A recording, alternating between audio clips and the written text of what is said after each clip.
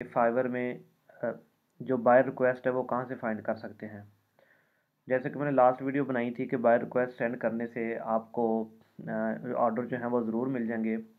तो बहुत से लोगों के ये क्वेश्चन आए हैं कि हम बायर रिक्वेस्ट जो है वो कहाँ से फाइंड करें? क्योंकि डैशबोर्ड में बायर रिक्वेस्ट की कोई ऑप्शन मौजूद नहीं है। तो आज की इस वीडियो में मैं आप लोगों को ये बताऊँगा कि आप बायर रिक्वेस्ट कहाँ से फाइंड कर सकते हैं। तो चलिए चलते हैं फाइवर के ऊपर। ये मैंने फाइवर ओपन किया है, पुराने जो डैशबोर्ड था, उसके अंदर ही फाइवर ने जो थी बाय रिक्वेस्ट दी हुई थी। लेकिन अब जो है, वो फाइवर ने अपलो अपडेट किया है। इसको और इस वजह से अब बाय रिक्वेस्ट जो है, वो डैशबोर्ड में आपके नहीं आती। तो आज की इस वीडियो में मैं आपको यही बताऊँगा कि बाय रिक्वेस्ट जो है, वो आप कहाँ से फाइंड कर सकते हैं। और उसके बाद आप बाय रिक्वेस्ट डेली की दस सेंड कर सकते हैं। और बाय रिक्वेस्ट सेंड करने से आपको ज़रूर जो है वो ऑर्डर मिल जाएँगे। इससे पहले आप हमारा चैनल ज़रूर सब्सक्राइब करें और वीडियो को लाइक और शेयर भी कीजिए। तो चले, चलते हैं, चलिए चलते हैं किस तरह आप बाय रिक्वेस्ट फाइंड कर सकते हैं। अगर आप अपनी इस जो पिक के ऊपर क्लिक करें तो यहाँ पे लिखा आ रहा है मैं डैशबोर्ड मैनेजर रिक्वेस्ट और पोस्टर रिक्वेस्ट अगर आप ये मैनेजर रिक्वेस्ट पे क्लिक करें तो आप देख सकते हैं यहाँ सिर्फ़ उसने पोस्ट और रिक्वेस्ट करने की ऑप्शन दी हुई है, ठीक है?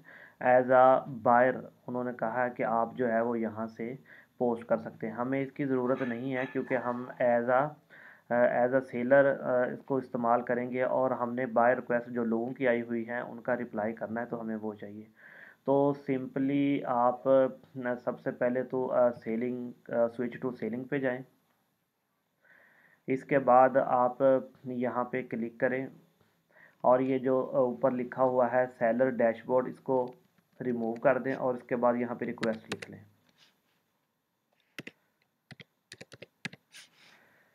रिक्वेस्ट ये रिक्वेस्ट लिखने के बाद आप इंटर करें। तो ये देखें, यहाँ आप देख सकते हैं कि बाय रिक्वेस्ट आपको शो हो गई हैं।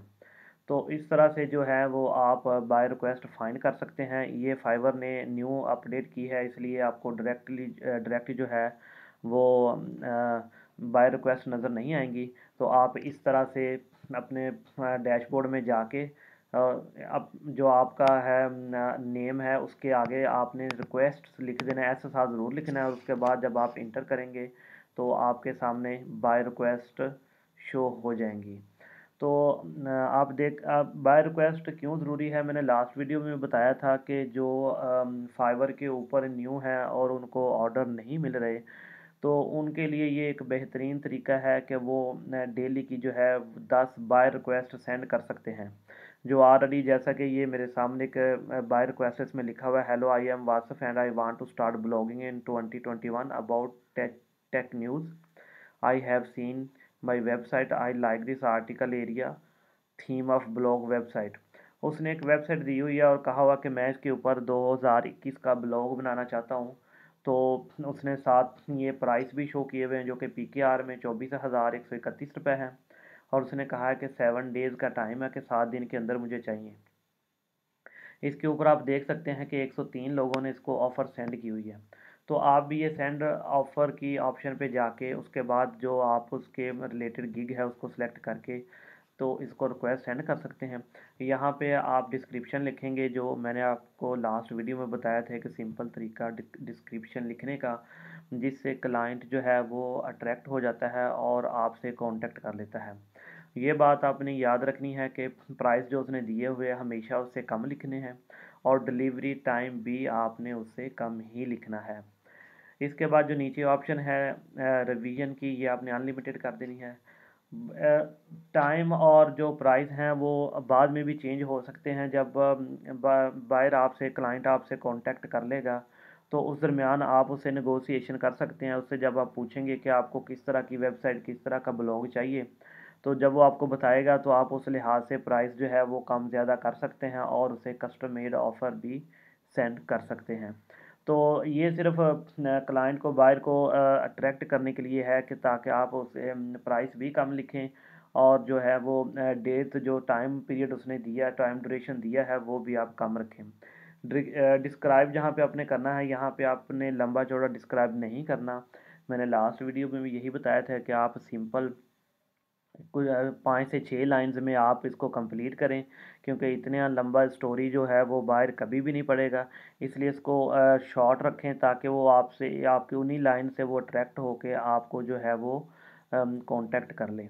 कांटेक्ट करने के बाद आप फिर उसे बता सकते हैं कि मैंने ये ये काम किया हुआ आप पोर्टफोलियो भी सेंड कर सकते हैं। अगर आपको कोई ऑफ़र लेटर है तो आप वो भी उसे सेंड कर सकते हैं। आप सब कुछ उसे बता सकते हैं। लेकिन यहाँ पे आपने इस चीज़ का हमेशा से ख्याल रखना है कि आपने बहुत ही शॉर्ट उसको डिस्क्राइब करना है। तो चलिए दोस्तों ये थी आ, हमारी आज की वीडियो जिसमें मैंने आप लोगों को बताया है कि किस तरह से आप फाइवर की जो रिक्वेस्ट है वो सेंड कर सकते हैं। आप फाइवर जो है वो डेली की दस रिक्वेस्ट सेंड करने की इजाज़त देता है डेली की दस। तो आप ये डेली की ज़रूर दस सेंड करें। और कोशिश करें कि जैसे कि पाकिस्तान टाइम के मुताबिक आप रात को दस बजे से लेके सुबह चार बजे के दरमियान जो है वो रिक्वेस्ट ज़्यादा आती हैं। उन्हीं, उसी के दरमियान में आप जो है वो रिक्वेस्ट सेंड करें। क्योंकि उस हमारा और यूरोप का टाइम डिफरेंस है। इस वजह से वहाँ पे लोग मोस्टली जब हमारी यहाँ पे रात होती है, वहाँ पे लोग जो हैं वो ऑनलाइन होते हैं, काम करते हैं। क्योंकि वहाँ पे डे टाइम होता है टाइम डिफरेंस होने की वजह से। इसलिए आप यही कोशिश करें कि आप मोस्टली रात को ही रिक्वेस्ट सेंड करें। और रिक्वेस्ट सेंड करने से इन ताला ज़रूर आपको जो है वो ऑर्डर मिलेंगे।